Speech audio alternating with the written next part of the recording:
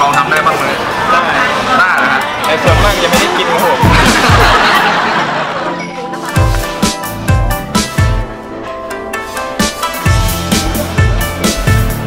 ฮังตี้เล่าฮอตพอตสวัสดีครับ ยินดีต้อนรับเข้าสู่รายการมักพิโกนะครับผมซึ่งวันนี้นะฮะเรามากินร้านอาหารร้านหนึงที่ดังมากนะฮะ อยู่ที่เซนทรัลโบนะครับผมอยู่ชั้น 7 นั่นเอง ซึ่งร้านนี้เนี่ยเขาว่ากันว่าบริการดีมากนะครับผม ซึ่งเราจะไปดูกันว่าเขาจะบริการดีจริงไหมว่าเรามากับผู้เชี่ยวชาญเป็นเมมเบอร์ของที่นี่นะครับผม นั่นก็คือ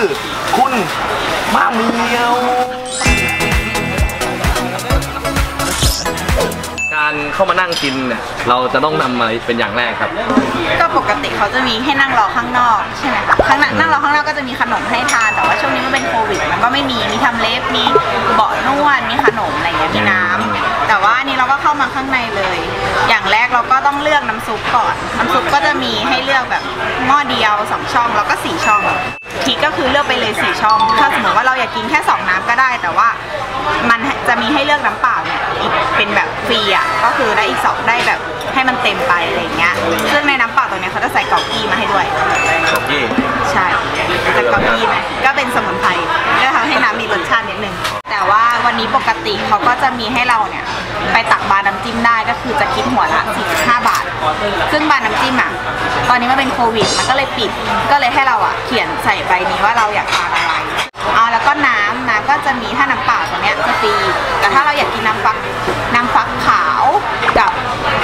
เก๊หวยก็คือจะเพิ่มหัวละ 20 น้ำปลาขาวก็อร่อยมากก็จะเหมือนน้ำปลาขาวกระป๋องที่ขายที่จีนเลยเหมือนกัน อืม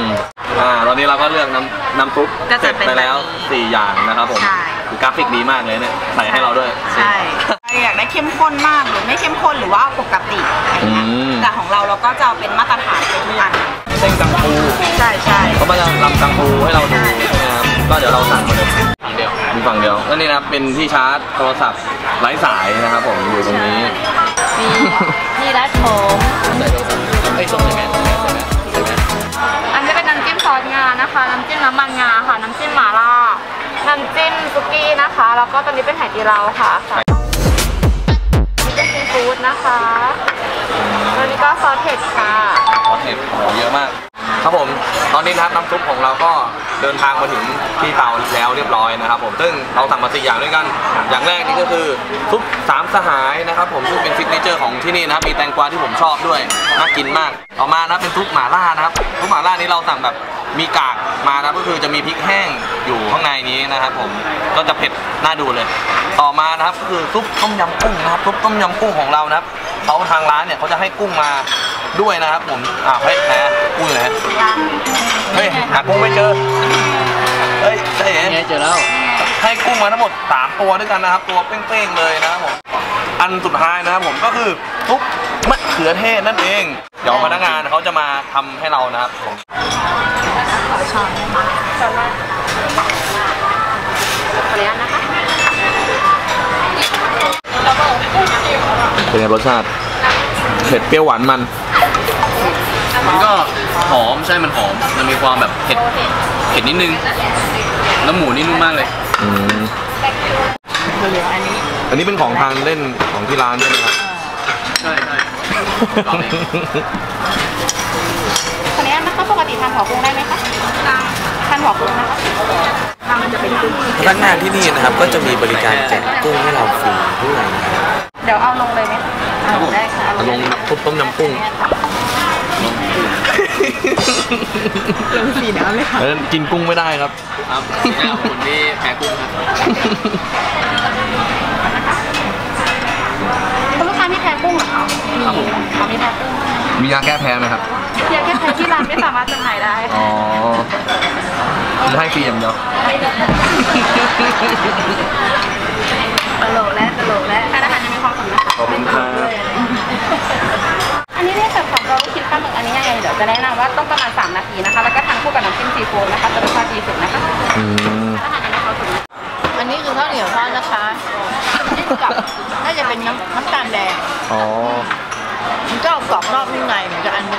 อนกับอันเมื่อกี้อืมอันไหนอร่อยกว่า ก็คนละสไตล์อร่อยคนละแบบ แต่นี่เคี้ยวแล้วมันก็เหนียวเหนียวๆติดฟัน อ๋อ ใช่ใช่ใช่พี่ทำฝึกมากี่ปีพี่กว่าจะทำได้ก่อนเปิดร้านเรียนอยู่ 3 เดือนครับ สามเดือน อ๋อเจ้ยเจ้ย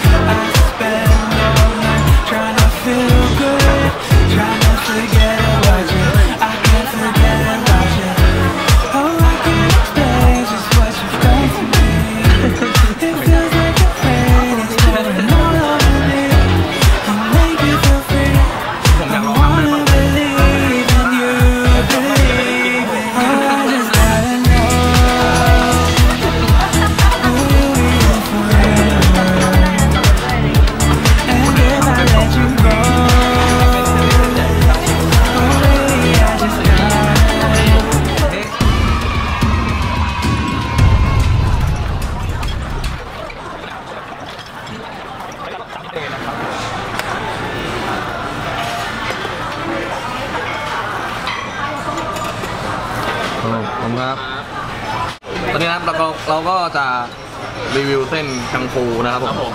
หลังจากที่เขาได้ได้ลำไป เราจะมาลองชิมกันนะเส้นมันจะแบบหนึบอืมๆจะมีรสชาติของซุปนะฮะ ซุปอะไร ซุปสามสหายก็อ๋อ อันนี้คือผลไม้ที่ปีใช่ไหมครับ ใช่ค่ะคือปีหมดเลยไม่คือเราเสียตังค์ไปแล้ว ตอนนี้นะครับเราก็จะเข้าสู่ช่วงรีวิว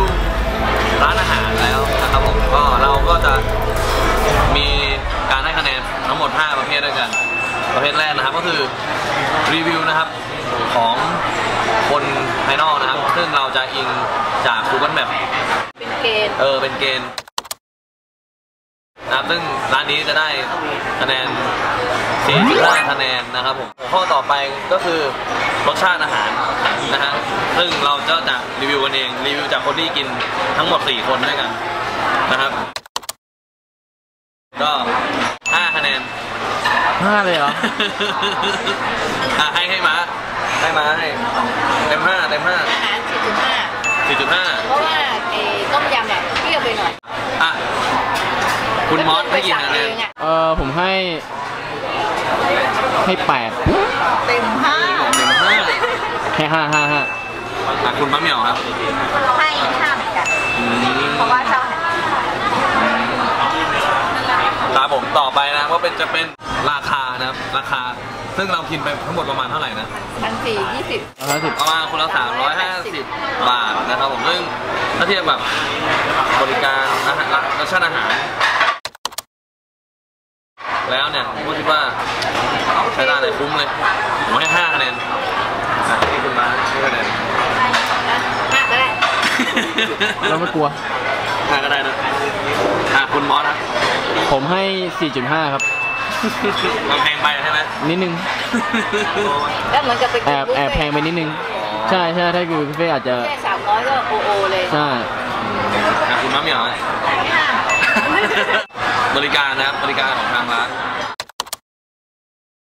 ครับผมโอ้โหบริการที่เนี่ยผมว่าบริการดีที่สุดเท่าที่ร้านอาหารที่ผมเคยกินมาแล้วเกินห้าไปเลยทำเองได้ห้าห้าห้าบวกบวกบวกเออห้าบวกบวกบางคนบอกว่าไม่ต้องทำคุณแม่ ไม่ไม่ไม่เลยมีบอกมาลองหลังให้ด้วยนะได้เราได้บอกแล้วก็มีคำนี้ให้ด้วยดูสิเอากลับบ้านเลยบอกแม่ต้องทำคุณแม่ที่คนดื้อไม่ต้องทำผมแม่ก็ทำเองอยู่นั่นมันช้าๆทำเองเพราะงานยุ่งแล้วไงก็แค่แค่ดีมากอืมอ่าเท่าไหร่ห้าบวกบวกบวกไปเลยต่อต่ออะคุณมอสครับคุณมอสเป็นยังไงบ้างครับบริการของที่นี่ให้ให้สิบครับโอเคฮะผ่าน หยอกห้าห้าห้าไม่ห้าห้าห้าห้าไปเลยเหคนีรัยวบไว้เท่าไหร่ดีห้าเหมือนกันชอบชอบอะไรของที่นี่ชอบแบบว่าการเอาใจใส่มากๆมากี่รอบก็เอาใจใส่หมดแบบว่าตอนนั้นมาก็คือชอบศิลปินอะไรเงี้ยก็เอารูปมาวางเขาก็ใส่ใจก็ไปปริ้นรูปที่ชอบคนที่ชอบมาให้อะไรเงี้ยแล้วก็แบบเออใส่ผ้าใส่จานผลไม้อะไรมาให้อ๋อก็คือประทับใจมากอันนี้ครับผมต่อมานะก็จะเป็นหัวข้อของบรรยากาศร้านนะครับผม ซึ่งโอเคเลยหรู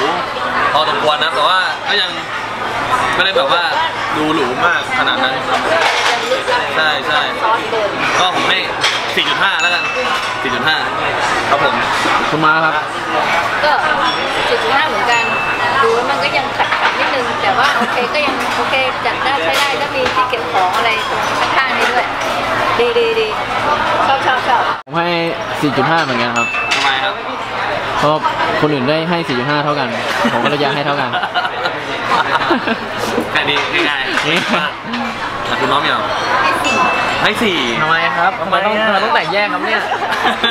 ก็เพราะว่าแบบว่าจีนอาหารจีนอะน้ำจิ้มมันเยอะใช่ปะแต่ว่าสเปซที่วางแบบน้อยไปหน่อยแบบของกินเราก็เยอะแบบอย่างบางทีที่เรามากินมันก็แบบต้องเอาไปเก็บต้องเอาเก็บเก็บอะไรเงี้ยรีบใส่